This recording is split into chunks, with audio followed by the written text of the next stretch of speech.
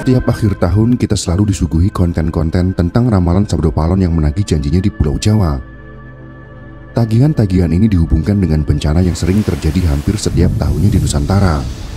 Dari erupsi gunung berapi, banjir, tanah longsor, gempa bumi, dan banyak lagi bencana alam ataupun sosial yang terjadi di wilayah Nusantara ini. Padahal kalau kita cermati, setiap tahun isinya sama begitu-begitu saja. Tapi peminatnya luar biasa tinggi dan banyak yang percaya atau meyakini apa yang terjadi itu adalah dampak dari ramalan ataupun perjanjian yang diinisiasi oleh salah satu tokoh yang bernama Sabdo Palon.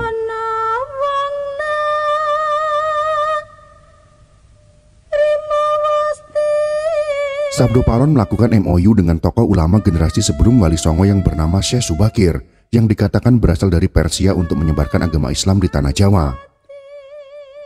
Sebelum melakukan MOU atau Memorandum of Understanding antara kedua tokoh ini, ternyata dalam kisah yang beredar dan diyakini sebagian masyarakat Jawa, mereka bertarung terlebih dahulu. Dalam cerita itu, kedua tokoh ini bertarung selama 40 hari 40 malam tanpa berhenti, yang berakhir dengan gencatan senjata dan perjanjian di antara kedua belah pihak. Jika kita cermati kisah yang masyur ini, maka kita dapat menarik logika sederhana yang tentunya menentukan apakah kita akan percaya atau bahkan tidak dengan kisah tersebut. Secara logika manusia tidak akan mampu melakukan kegiatan fisik apalagi berperang selama 40 hari 40 malam nonstop. Pertanyaan sederhana akan muncul. Kapan mereka makan, minum, istirahat, bahkan buang kotoran selama waktu yang lebih dari satu bulan tersebut? Sedangkan dalam ilmu biologi, manusia hanya mampu bertahan hidup tanpa makanan dan minuman kurang lebih selama satu minggu. Jika masih mendapatkan asupan cairan, manusia masih mampu bertahan hidup selama 2-3 bulan. Itu pun pastinya dengan kondisi fisik yang sangat tidak bugar, lemah, karena tidak ada nutrisi yang masuk. Jadi pertarungan selama 40 hari dan 40 malam tersebut dapat kita pertanyakan kembali.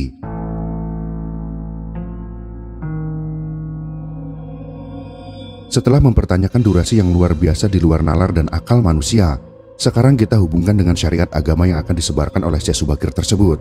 Tentunya adalah syariat Islam. Kita semua tahu, bagi yang beragama Islam bahwa syariat sholat lima waktu adalah wajib bagi orang yang beragama Islam. Bahkan ancamannya adalah dosa yang pastinya akan berakhir di neraka. Bahkan dalam Islam saat semua manusia sudah mati dan akan diadili, maka yang pertama kali dihisap adalah sholatnya. Jika sholatnya rusak, maka rusaklah semua amal baiknya.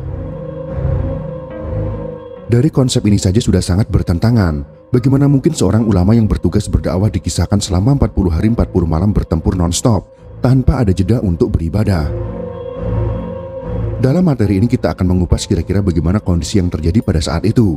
Apakah tokoh tersebut benar-benar ada? Jika benar ada, apakah kisah yang diceritakan tersebut benar-benar terjadi? Ya. Syekh Subakir dalam fakta sejarah memang benar ada dan dapat ditelusuri bukti keberadaannya di Tanah Jawa. Dalam buku melacak Syekh Subakir, riwayat penumbalan Tanah Jawa dan Wali Songo generasi pertama, cetakan tahun 2017, karya M. Ramadan MK, dikatakan bahwa Syekh Subakir adalah seorang wali Allah yang sengaja diutus untuk misi penyebaran agama Islam. Agus Sunyoto dalam bukunya Atlas Wali Songo, cetakan tahun 2012, menjelaskan bahwa Syekh Subakir sebagai salah satu ulama sakti, di mana beliau dikenal sebagai seorang wali keramat dari Persia yang dipercaya telah menanam tumbal di sejumlah tempat di Pulau Jawa agar kelak Pulau Jawa tersebut dapat dihuni oleh umat Islam. Sebelum melanjutkan pembahasan, kita satukan persepsi dulu pengertian menanam atau memasang tumbal yang dimaksud. Istilah memasang tumbal dalam kisah Syekh Subakir adalah berkaitan dengan usaha rohani mensucikan tempat dengan cara menanam tanah di tempat yang angker. Jadi bukan mengorbankan manusia atau hewan atau apa pun itu, seperti pemahaman pada umumnya. Konsekuensi logisnya menjadikan sebuah kisah yang sebelumnya benar-benar ada menjadi sesuatu yang dianggap irasional karena kisahnya disampaikan secara alegoris. Akhirnya banyak orang yang beranggapan Syekh Subakir adalah tokoh fiktif yang diada-adakan. Padahal Syekh Subakir memang pernah ada dan membuat perubahan besar pada penyebaran Islam di tanah Jawa yang dilanjutkan oleh Wali Songo generasi berikutnya. Syekh Subakir lahir pada tanggal 20 Ramadan tahun 787 Hijriah atau bertepatan dengan 14 Oktober tahun 1385 Masehi di Persia. Beliau mempunyai nama asli Syekh Tambu Ali bin Syekh Bakir atau ada juga yang menyebutnya Muhammad Al-Bakir. Setelah menginjakkan kaki di tanah Jawa, namanya menjadi Syekh Subakir karena lidah orang Jawa kesulitan melafalkan nama aslinya. Berdasarkan sejarah nasabnya, Syekh Subakir masih keturunan dari Salman Al-Farisi, salah satu seorang sahabat Nabi Muhammad yang memiliki semangat kuat dalam memperjuangkan Islam.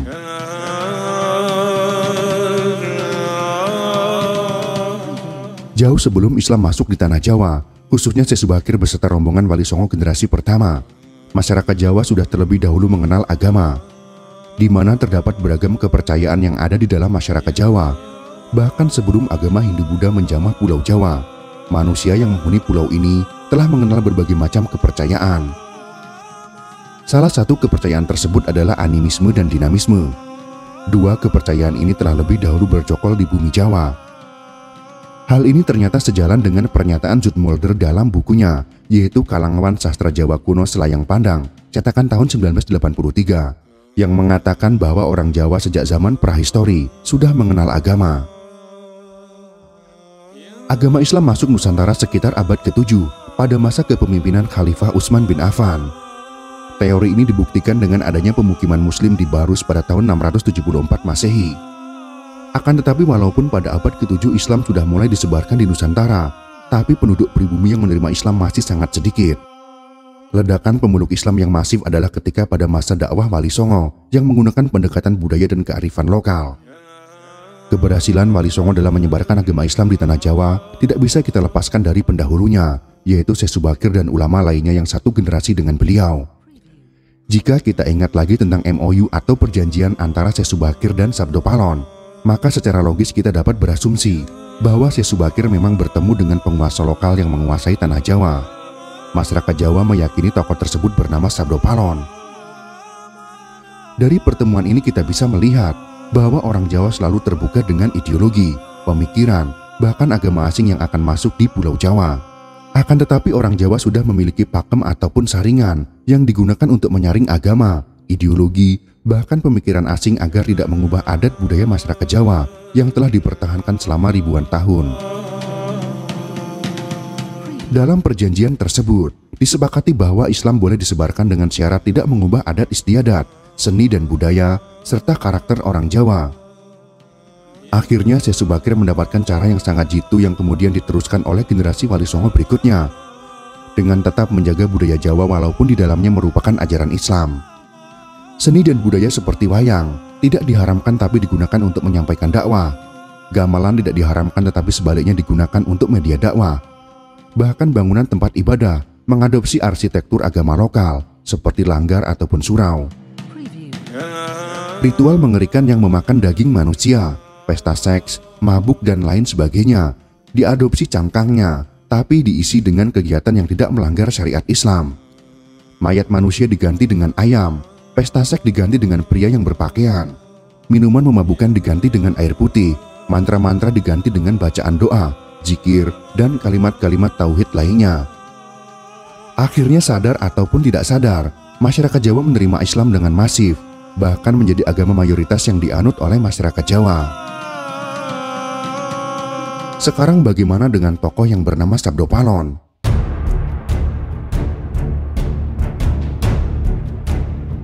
Sabda Palon atau Sabdo Palon adalah tokoh legendaris yang dianggap sebagai pandita dan penasehat Brawijaya V, penguasa akhir yang beragama Buddha dari kerajaan Majapahit di Pulau Jawa. Namanya disebut-sebut dalam serat Darmo Gandul yang ditulis oleh Ki Kalamwadi dengan waktu penulisan hari Sabtu, tanggal 16 Desember tahun 1900. Serat Darmo Gandul adalah suatu tembang macapat kesusastraan Jawa baru berbahasa Jawa Ngoko Disebutkan dalam kisah bahwa Sabdo Palon tidak bisa menerima sewaktu Brawijaya digulingkan pada tahun 1478 Masehi oleh tentara Demak dengan bantuan dari Wali Songo. Walaupun pada umumnya dalam sumber-sumber sejarah dinyatakan bahwa Brawijaya digulingkan oleh Girindra Wardana, bukan oleh anaknya sendiri yaitu Raden Fata dari Kerajaan Demak. Sabdo Palon lalu bersumpah akan kembali setelah 500 tahun saat korupsi merajalela dan bencana melanda untuk menyapu Islam dari Jawa dan mengembalikan kejayaan agama dari kebudayaan Jawa. Dalam serat Darmo Gandul, agama orang Jawa disebut dengan agama Budi, yang dahulu ajaran Buddha berdampingan dengan ajaran Hindu. Serat Damar Wulan dan Serat Belambangan juga mengisahkan tokoh ini. Sabdo Palon sebagai tokoh yang diyakini pernah ada dan melakukan negosiasi dengan Syekh Subakir. Mungkin secara historis bisa saja dia adalah tokoh lain yang mempunyai pengaruh di Pulau Jawa pada masa itu. Secara bahasa sabdo berasal dari kata sabda atau perkataan atau firman dan palon mempunyai arti pegangan. Jika sabdo palon secara makna diartikan sebagai perkataan atau firman yang menjadi pegangan, maka bisa dipastikan bahwa sabdo palon itu adalah pakem yang sudah dijelaskan pada awal materi pakem yang berfungsi sebagai penyaring dari agama, pemikiran, dan ideologi asing yang mencoba masuk ke dalam tatanan masyarakat Jawa. Seandainya dahulu Syekh Subakir beserta Wali Songo generasi berikutnya tidak memperhatikan pakem ini, bisa dipastikan Islam tidak akan diterima masyarakat Jawa. Jelas tidak akan diterima karena langsung mengharamkan adat istiadat, budaya, kesenian, dan ritual-ritual yang dilakukan oleh masyarakat Jawa ketika itu kita bisa menyimpulkan bahwa Syekh Subakir dan rombongan saat itu bisa dikatakan menjadi intelijen yang mempelajari, mengamati secara antropologis dan sosial kultur dari masyarakat Jawa dan menentukan cara yang tepat untuk mengenalkan Islam sebagai agama baru di tanah Jawa.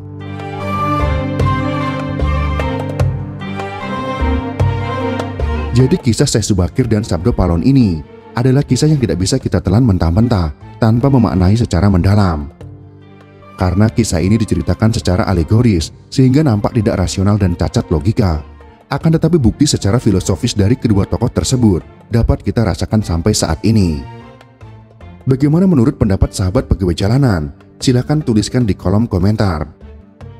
Jika kalian suka dengan video ini, silahkan berikan jempol ke atas. Dan jika kalian menganggap video ini bermanfaat, maka bagikanlah untuk teman-teman Anda yang lain. Terima kasih sudah menonton.